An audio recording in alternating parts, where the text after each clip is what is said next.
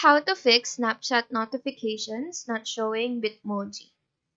So go ahead and open your Snapchat application.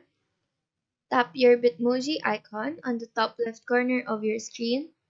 And then here, tap on the gear icon, which is the settings on the top right.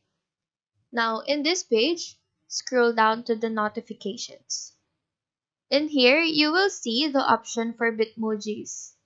Make sure to turn on this toggle and once you receive a notification of Snap or notification of message from a friend, their Bitmoji will now show.